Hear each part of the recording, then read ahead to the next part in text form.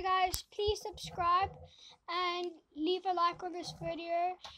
Whoever's watching, please.